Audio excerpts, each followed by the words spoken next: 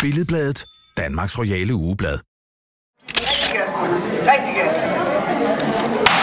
Det var rigtig god. Det går rigtig godt. Så. Rigtig god. Rigtig god. Sådan der. Hvad betyder det for dig at stille op til sådan en sag?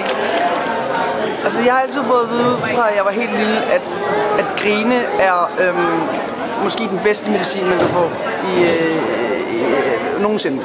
Og øh, derfor er de danske hospitalskloner utrolig vigtige og øh, gør et kæmpe stykke arbejde ved at øh, dele grin ud til, og smil ud til en masse øh, unger og en masse, en masse unge mennesker og en masse børn. Så øh, selvfølgelig stiller jeg herop øh, og, og synger en sang og deler smil ud til en masse unge mennesker.